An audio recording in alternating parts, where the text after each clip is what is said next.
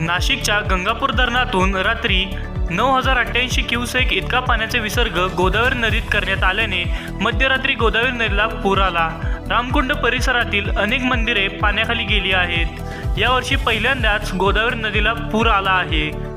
कालपासून नाशिकमध्ये सुरू असलेल्या पावसामुळे गंगापूर धरणाच्या पाणी पातळीत वाढ झाली आहे.